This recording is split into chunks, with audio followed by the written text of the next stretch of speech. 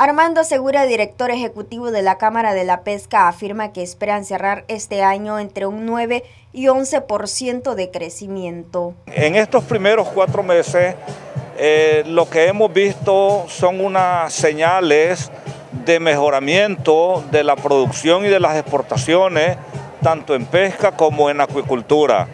Nuestra expectativa, nuestras estimaciones es que eh, vamos a llegar a los niveles de exportación que teníamos o que tuvimos en el año 2019.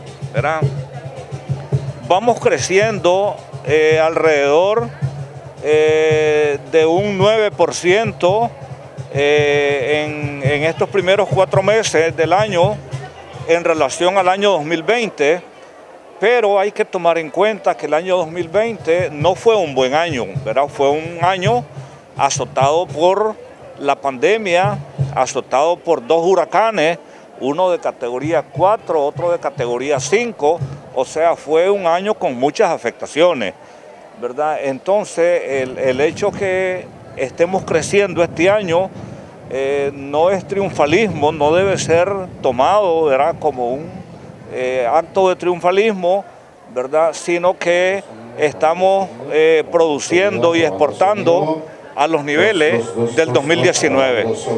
Pensamos que vamos a cerrar este año con un crecimiento general en el sector eh, que anda por ahí entre el 9 y el 11%. Estamos alrededor de 92 millones de dólares, ¿verdad? Este, de 95 millones de dólares este, en exportaciones de pesca y acuicultura.